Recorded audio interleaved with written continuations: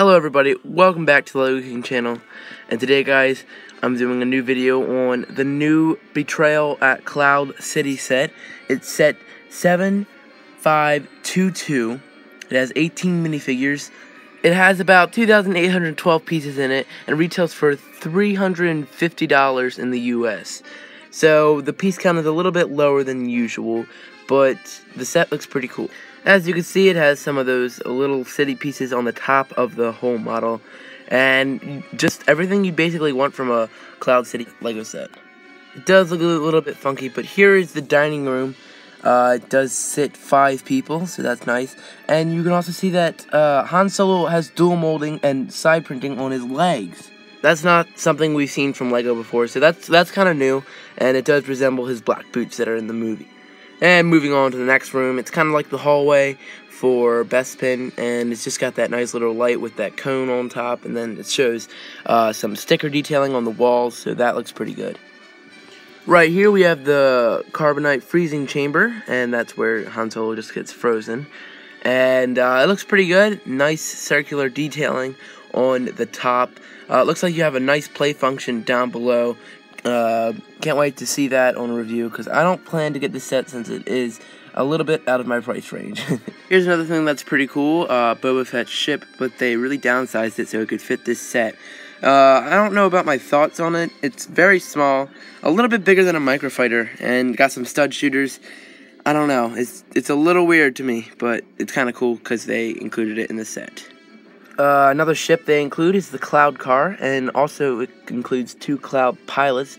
And I'll go down the minifigure line after I'm done uh, kind of going around the set. And back to the model, you can see that uh, Luke is dangling when Darth Vader tells him he's his father, and he goes, no, and then drops.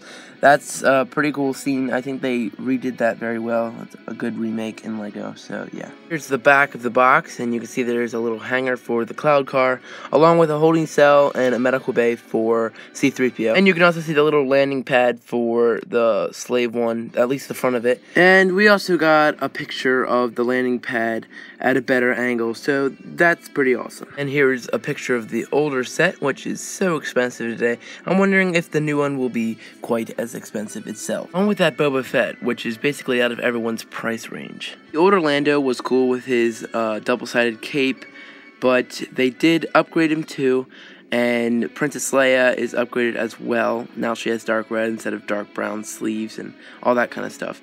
So here we go, just showing some more figures down the line. Uh, multiple figures. We got Hoth people. We got uh, Lando. They did change the Ugnaught from the original set from the Han Solo freezing chamber.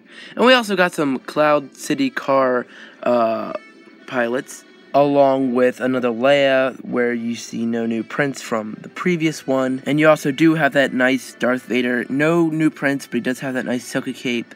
So yeah. You also get some uh, you get a Han Solo from Hoth with dual molded legs. Uh, Princess Leia in her Bespin uniform, along with Lando. Lando looks great. He's got a nice double-sided cape again, and he does have some cool printing that I didn't notice in the movies. So I'll have to check that out. We also got our Lukes.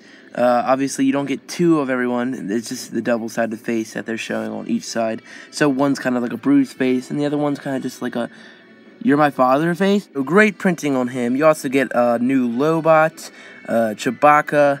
I think he's the same. Uh, C3PO, pretty sure he's the same from our previous one. And an Ugnaught, that's pretty new. You also get an R2-D2, and he's just going down the screen right now. I think he's the same.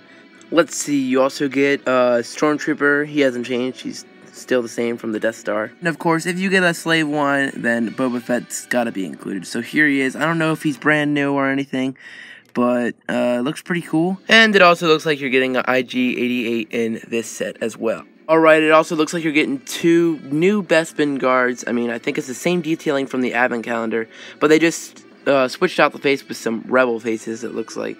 So that's pretty cool. And the Bespin guard on the left kind of looks like a Bespin guard in the movie. What do you guys think? And here's the front of the box again. I'm not really sure if I like it. I mean, I know it's really hard to put that kind of set on the front of a box but it just looks super out of place in how like the open side is just basically flat against the printing of the front of the box. Anyways, it does look like the set will be coming out October 1st, so maybe you guys can go pick that up. Uh, and I think it will be coming out earlier for VIP members, but obviously I'm not, so I don't really know what time. If you guys like this video, why don't you give it an actual like, and maybe subscribe if you want to, and comment down below what your favorite part of this video was, or just whatever you want to. And I will see you next time on the Lego King channel. Bye.